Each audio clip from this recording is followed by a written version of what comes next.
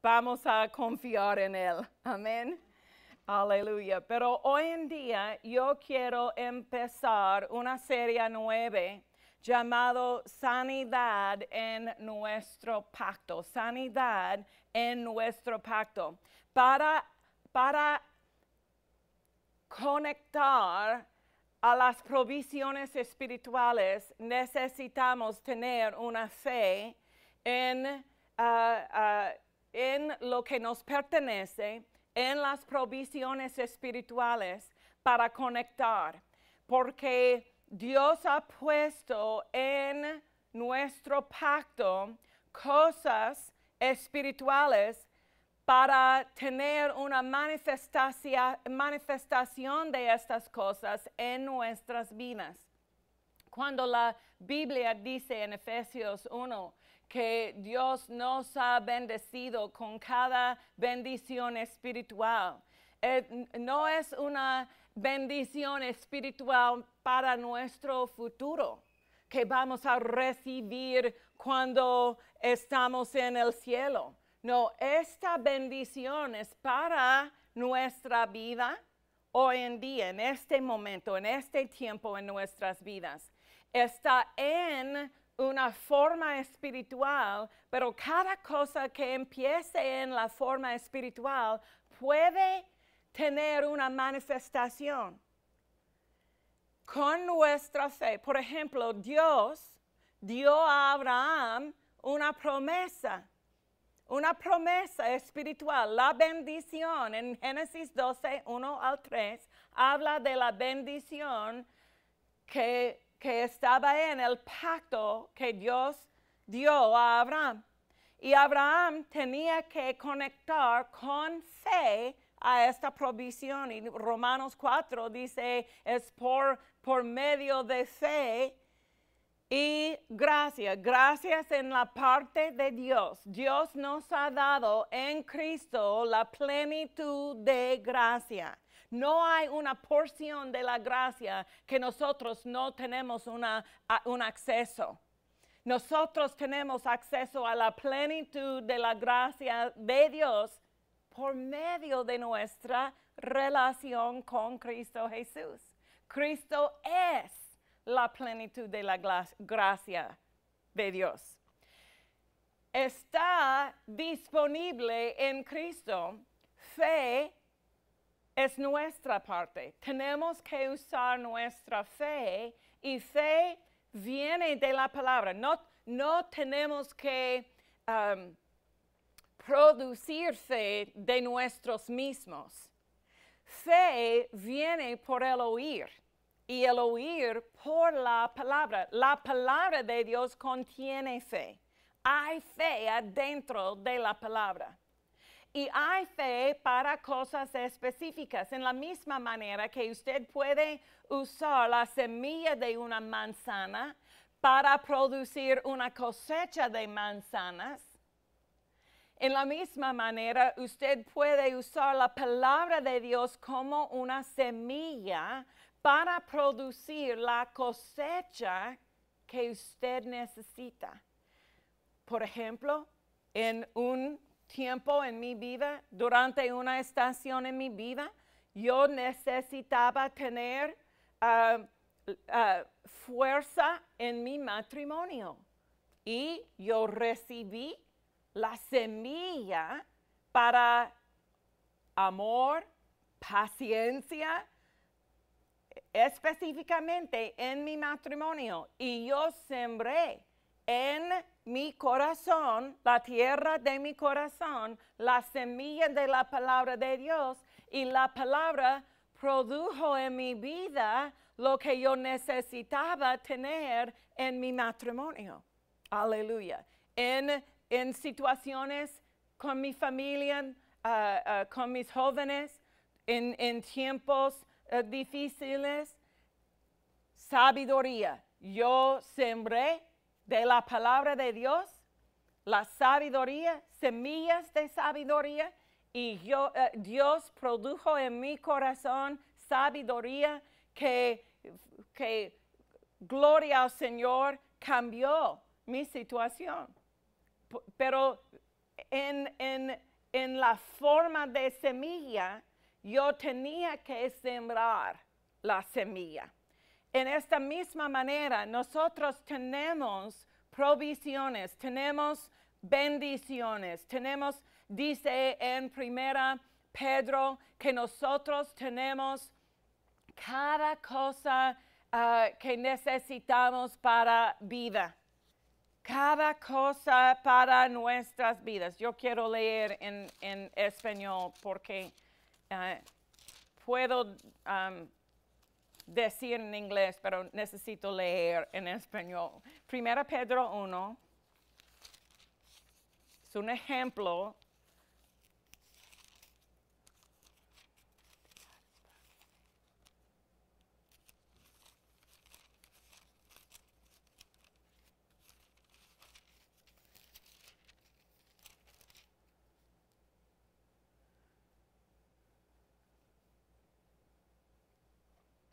Aleluya.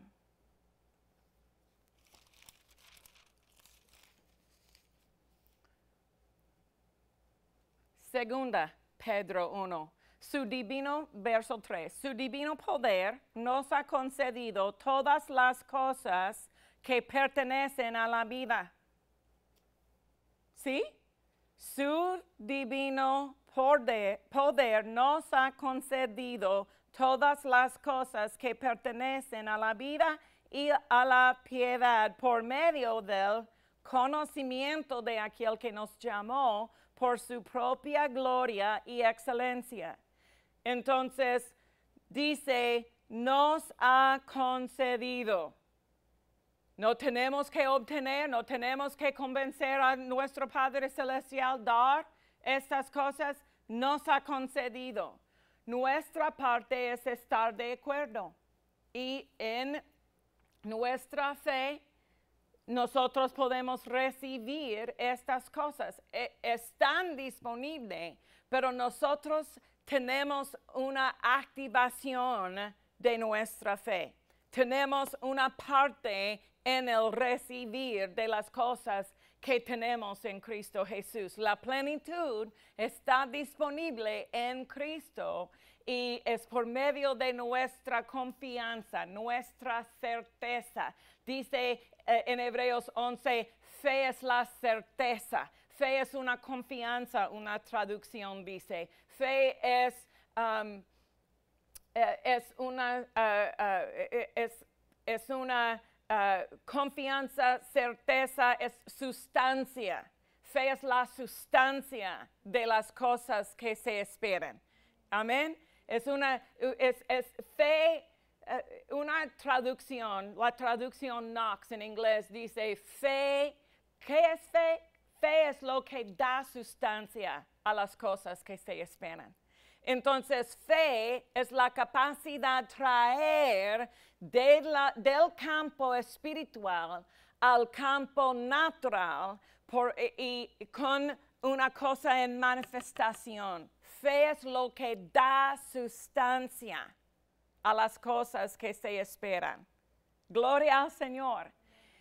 En nuestro pacto tenemos que ah, entender que Dios ha puesto eh, cosas específicas en la forma del pacto, en un contrato espiritual.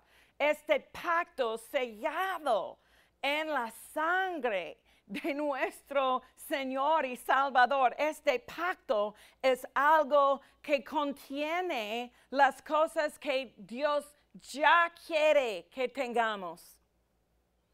Eh, eh, nosotros no tenemos que convencer a Él darnos estas cosas porque Dios ya ha puesto en una forma legal pacto. El pacto es un- una forma, una manera legal que Dios puede poner en nuestras vidas cosas que Él ya quiere que tengamos.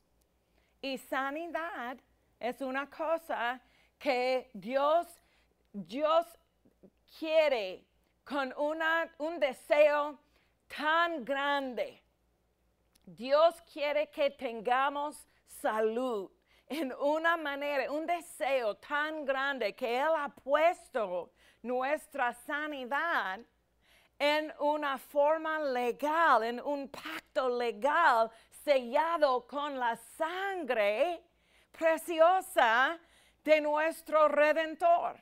Aleluya. Porque esta es una ah, indicación que, del, del deseo de Dios para la sanidad en nuestras vidas. Aleluya. Entonces, nos pertenece ya. Sanidad nos pertenece ya. Es una parte de nuestra redención. Y sobre los años, la ah, iglesia religiosa, personas religiosas, enseñanzas religiosas, ha puesto una diferencia entre nuestra salvación eh, eh, eh, de nuestro espíritu y la salvación de nuestro cuerpo y la salvación de nuestras finanzas o familia o emociones. Eh, pero en la mente de Dios, salvación cubre cada parte de nuestras vidas. Salvación, redención es una redención plena, es una redención completa, es una redención de nuestras mentes, una redención de nuestros ah, seres, una redención de nuestras familias, una redención de nuestros cuerpos. Dios ha puesto esta redención en ah, un, pacto legal y es una redención completa. Entonces, cuando Moisés dijo,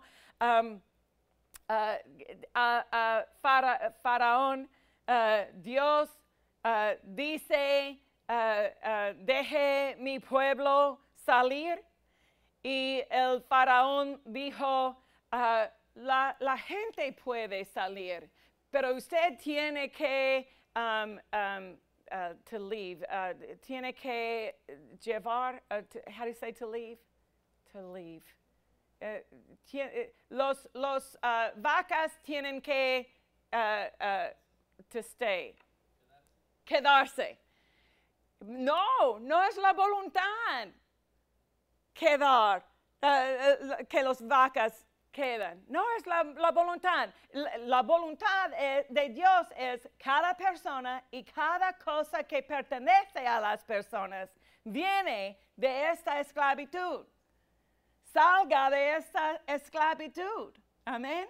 E, es la voluntad de Dios. Entonces, no vamos a, um, eh, negociar con, con una parte de nuestras vidas. Si Cristo ha pagado el precio para mi mente, voy a tener una mente sana. Si Cristo ha pagado el precio para mi cuerpo, voy a tener un cuerpo sana, sano. Si Cristo ha pagado el precio para mis finanzas, voy a tener finanzas en abundancia. Amén. Porque Cristo ha pagado el precio para una redención completa.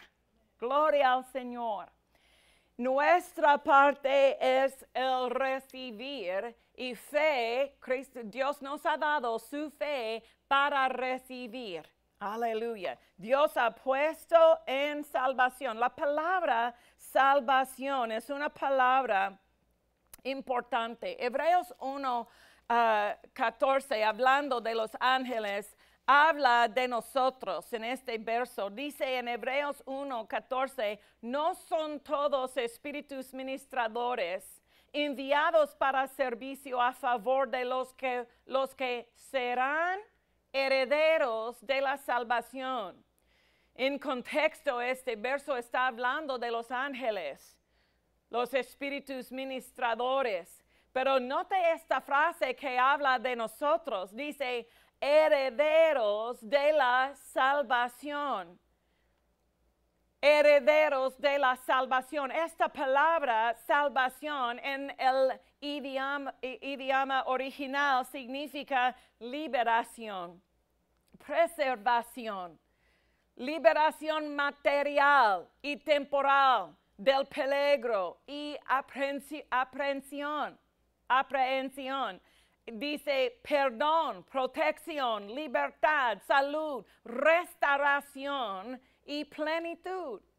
Salvación es una palabra poderosa, es una palabra grande en su definición. Aleluya. La salvación es, una, es más que solamente nuestro ah, boleto al cielo. Amén.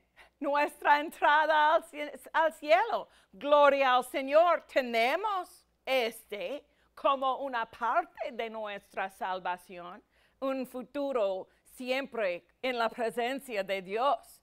Es una parte de nuestra salvación, pero salvación está disponible en esta vida.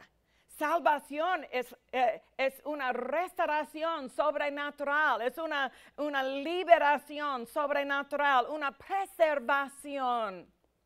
Aleluya. Y es nuestra herencia. Somos herederos de esta liberación. Somos herederos de esta preservación. Somos herederos de la protección, la libertad, la salud y plenitud que está disponible en nuestra salvación. Primera Tesalonicenses 5, 9. Y este ah, voy a usar una traducción nueva Biblia en lengua actual. Dice, porque no nos ha destinado Dios para ira. Diga gloria al Señor. no nos ha destinado Dios para ira. Aleluya.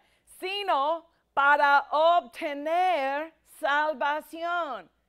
Es nuestro destino en el plan de Dios, para obtener salvación por medio de nuestro Señor Jesucristo.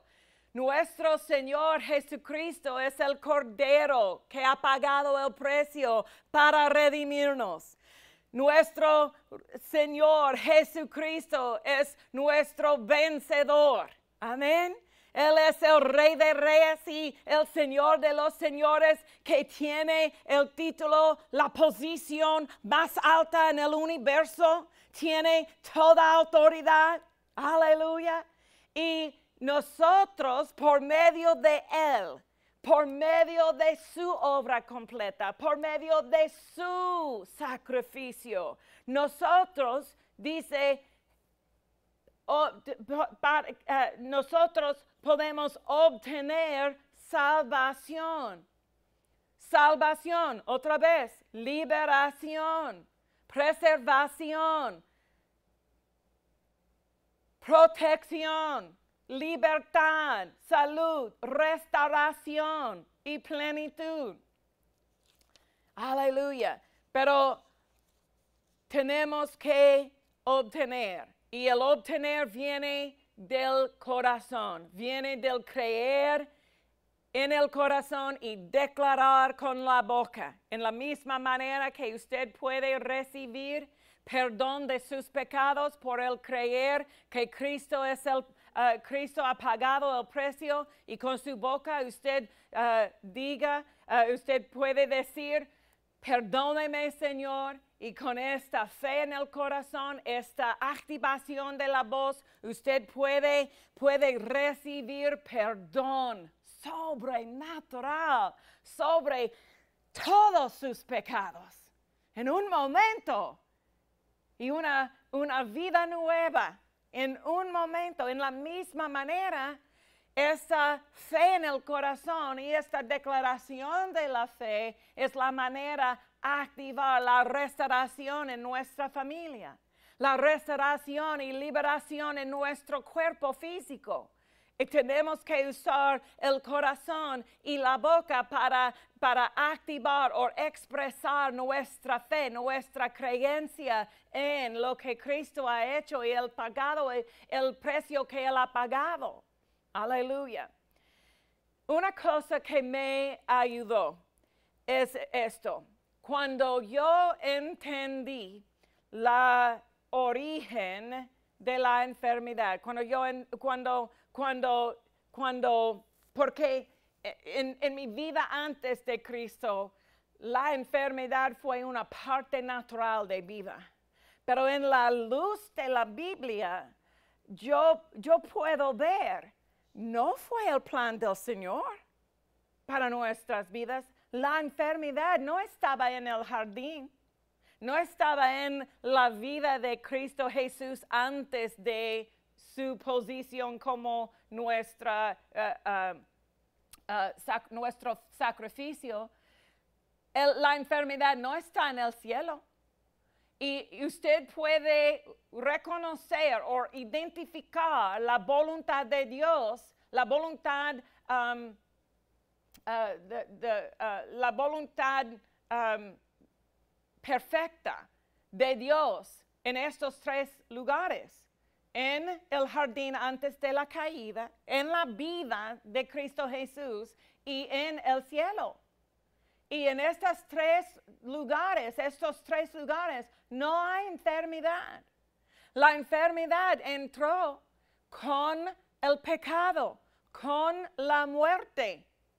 Y la muerte entró por medio del pecado. Entonces, el origen de la enfermedad es una cosa que me ayudó, este conocimiento del, del origen de la enfermedad, porque porque para resistir la enfermedad, yo necesito saber y conocer que, yo tengo un derecho a resistir este.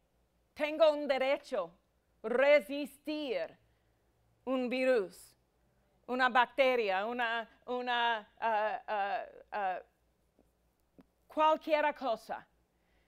Si, si viene bajo la maldición, no, no tengo que permitir la operación de esta cosa en mi vida. No tengo que. Pero yo puedo, yo puedo, pero no quiero. Amén. Cuando una persona sabe que esta no es la voluntad de Dios para mí, es muy fácil resistir esta cosa. Si una persona piensa que Dios ha puesto esta enfermedad sobre su vida?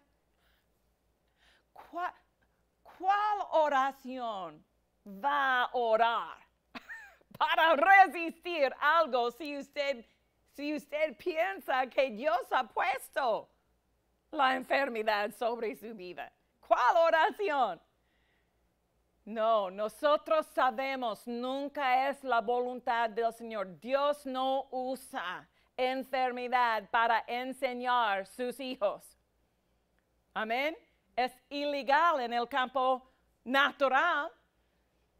Si, si hermano Paulino usar uh, una cosa mala para, para uh, uh, castigar o enseñar su hijo, su hija, es ilegal.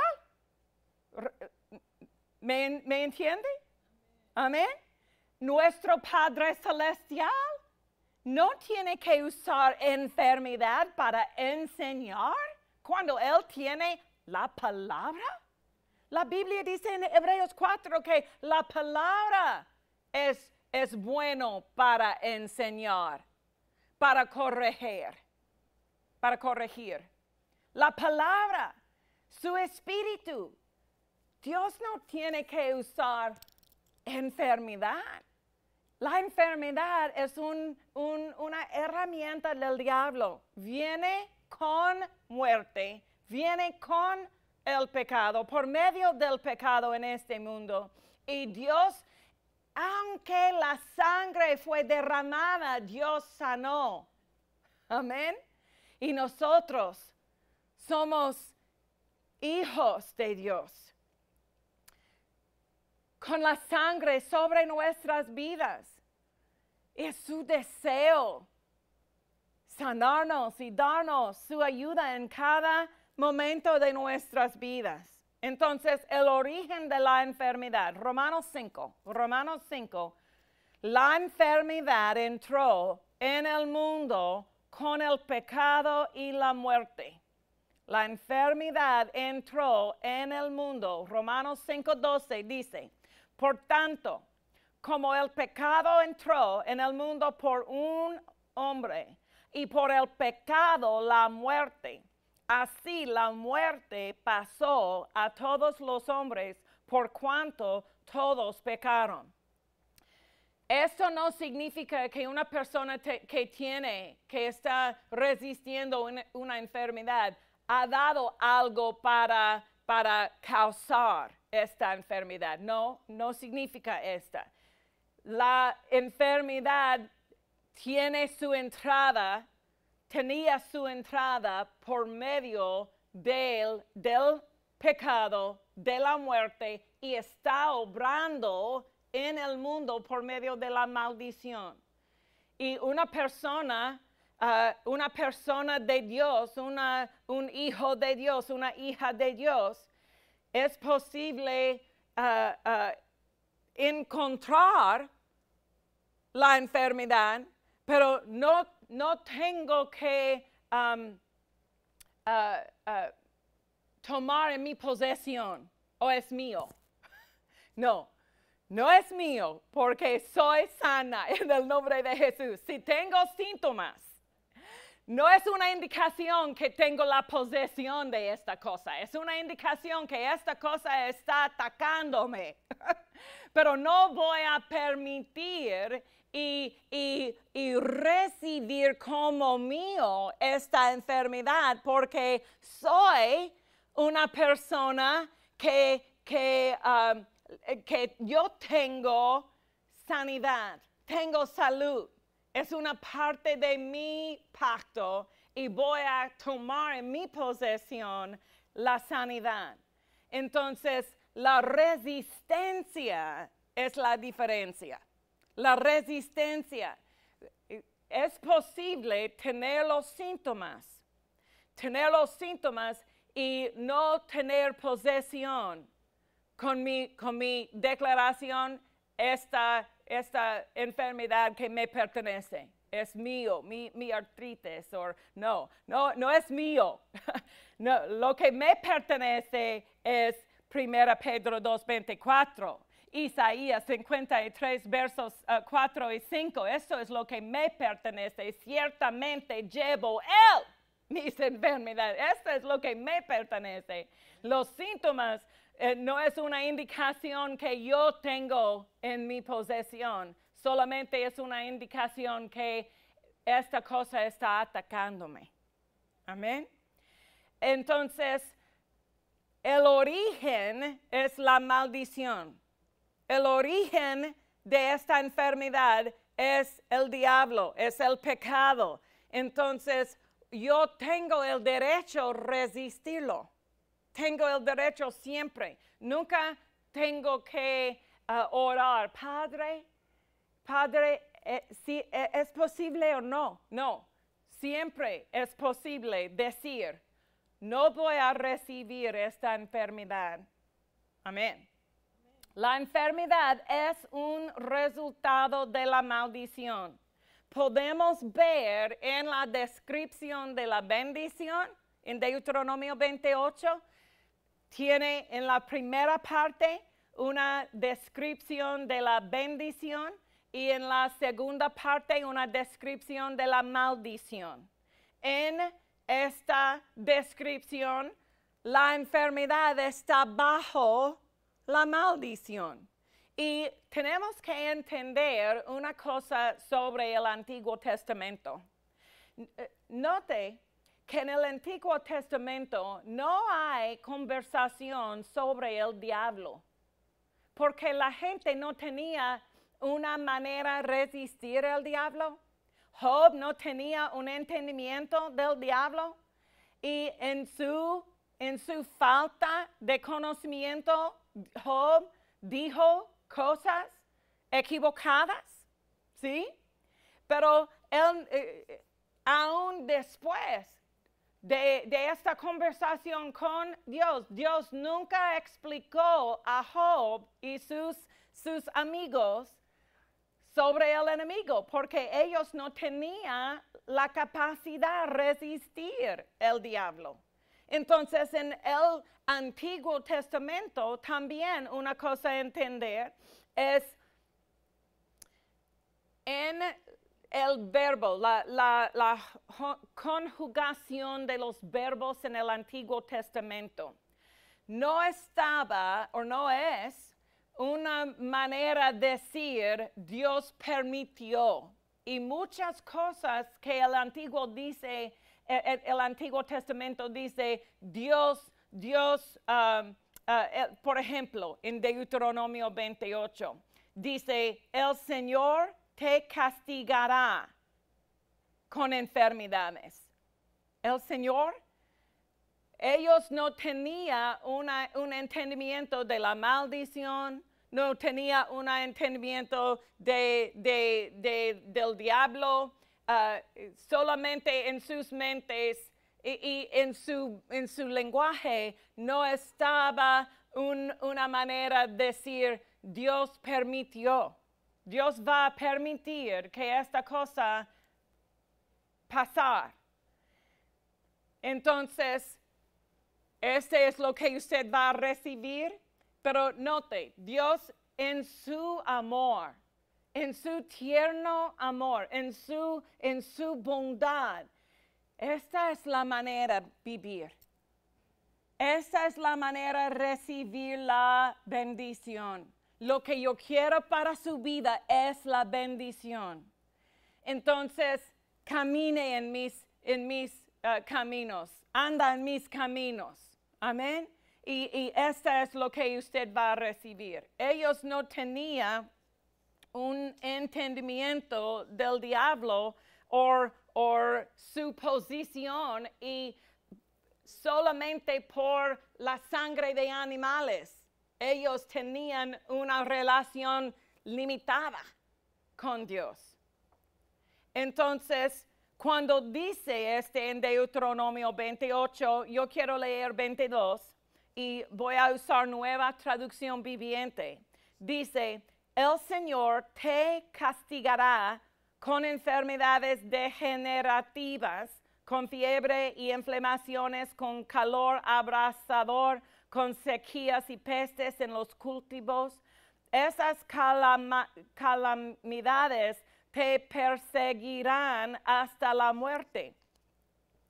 Hablando de la maldición, hablando de lo que va a pasar en una persona que re- rehúsa caminar en línea con la palabra. Esa es como ah, decir, ah, por ejemplo, si una persona, ah, eh, esa es mi voluntad, no robe este ah, banco. Did I say don't rob this bank? Okay, no robe este banco. Si usted, eh, eh, si usted ah, robe este banco, esta es la maldición que va a pasar si una persona roba el banco. Ellos van a recibir 10 al 15 años en la prisión. Es, lo que esta persona con información, con, con el conocimiento claro, esta es algo ilegal, robar este banco, ¿sí? Esta fue una indicación. No vive en esta manera porque la maldición va a pasar. La maldición está aquí. Nosotros eh, solamente eh, tenemos que vivir para, para experimentar la maldición. Por medio de la sangre somos redimidos. Cristo nos redimió de la maldición. Tenemos que tener esta redención. Una persona sin la redención no tiene una capacidad resistir la maldición porque está funcionando en este mundo. Este mundo está bajo el control de la maldición, pero no para nosotros. Para nosotros tenemos una redención, una redención que nos da nos da liberación de su poder, del poder de la maldición, redención que, que nos da una, un poder contra la enfermedad, contra la pobreza, contra la bendición y la redención funcionando en nuestras vidas. Es, es el poder que es la diferencia. Amén. Gloria al Señor. Entonces, cuando entendemos el origen de la enfermedad. Es muy fácil resistir esta enfermedad porque sabemos que no nos pertenece. No tiene un derecho legal funcionar en mi vida. Cualquier cosa que está bajo la maldición, pobreza, falta, necesidad, cosas bajo la maldición, nosotros podemos y necesitamos resistir. Podemos recibir, resistir y, tenemos que, debemos resistir. Aleluya.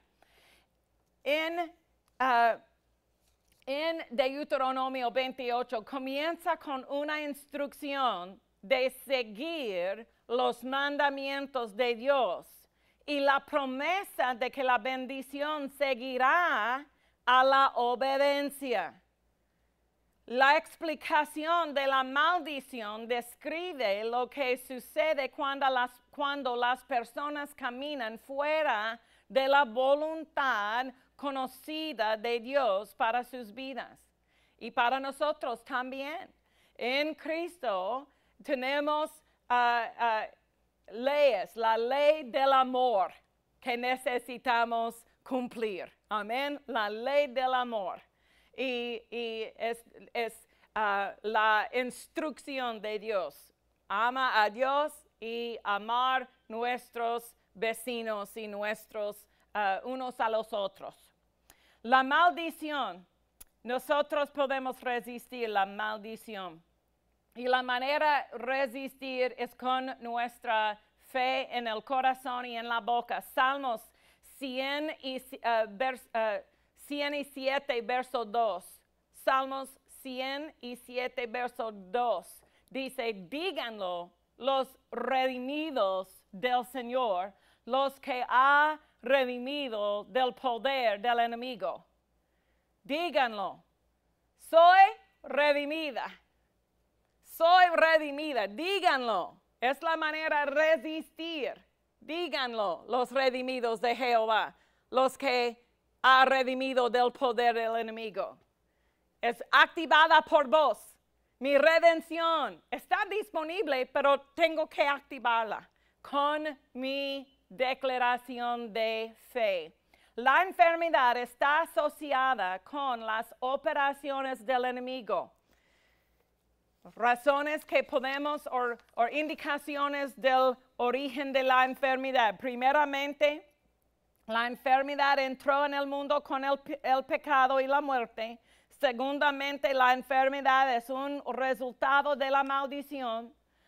Aleluya. Terceramente, la enfermedad está asociada con las operaciones del enemigo. Juan 10, 10 habla del método de la operación del enemigo. Juan 10, 10 dice, el ladrón no viene sino para hurtar y matar y destruir. Yo he venido para tengan vida y para que la tengan en abundancia.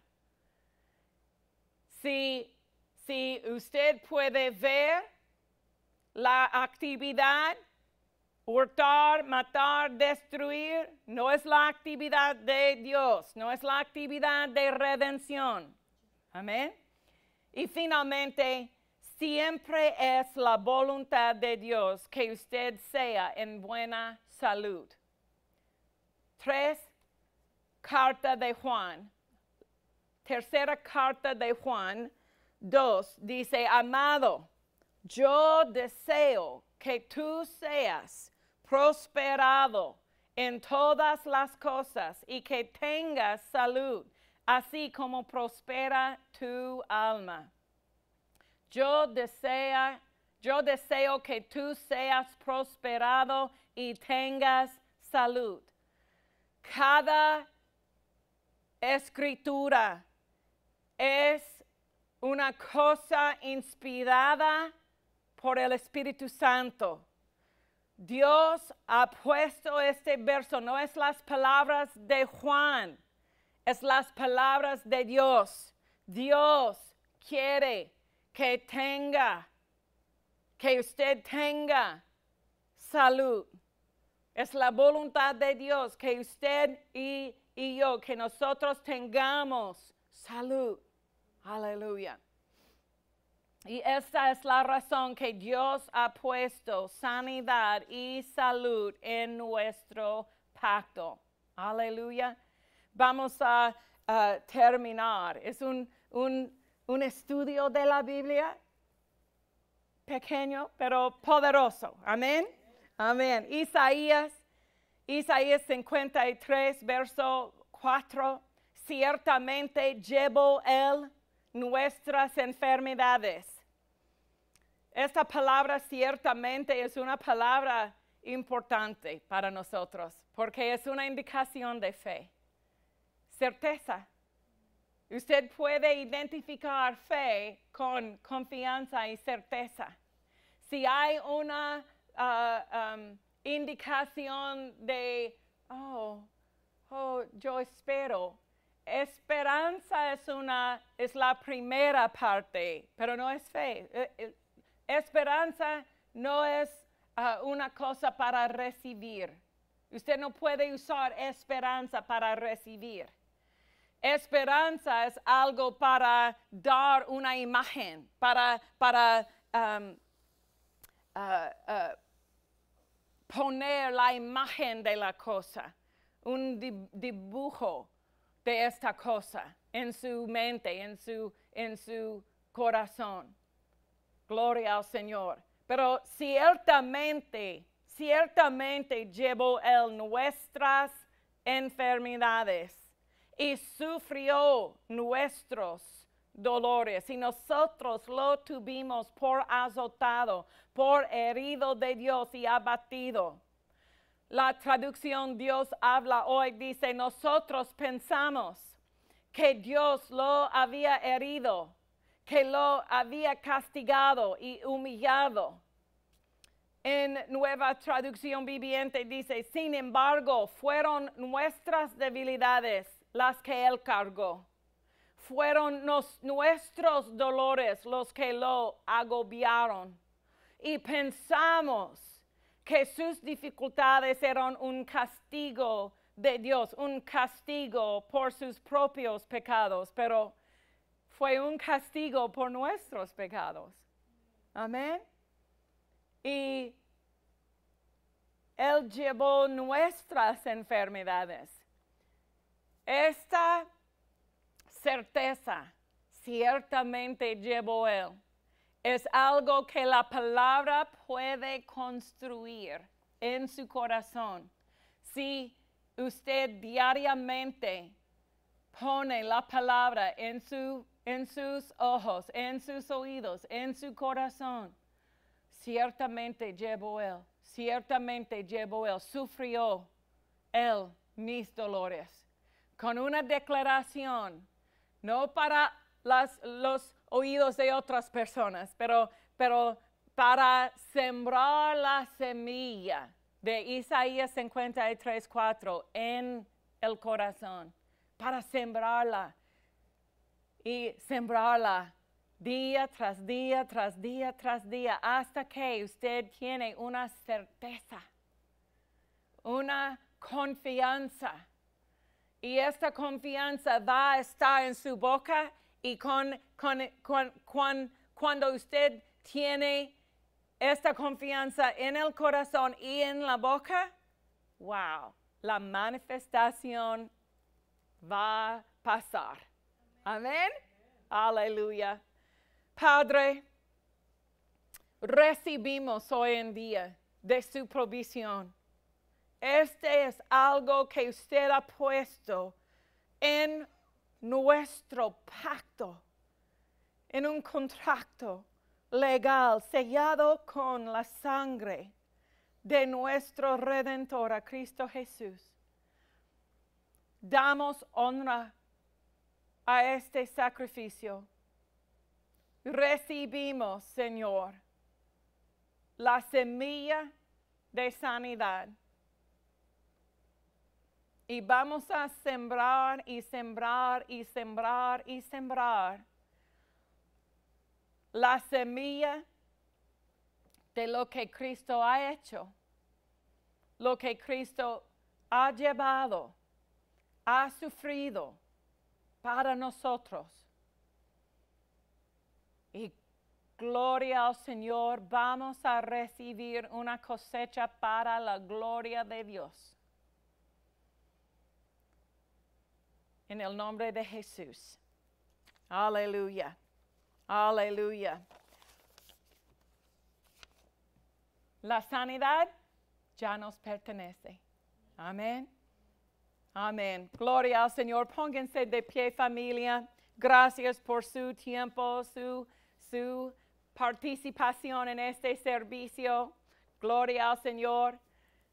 Vamos a enviar la palabra a Jocelyn y hermano uh, Norberto y hermana Luz y cada otra persona uh, que, que, está uh, resistiendo.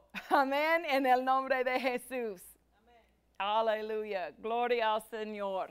Vamos a declarar la, de la visión de esta iglesia. La visión de esta iglesia es construir la fe de mucha gente y enmarcar su mundo con la palabra de Dios. Tú y yo siempre seremos cambiadores del mundo. Bendiciones familia.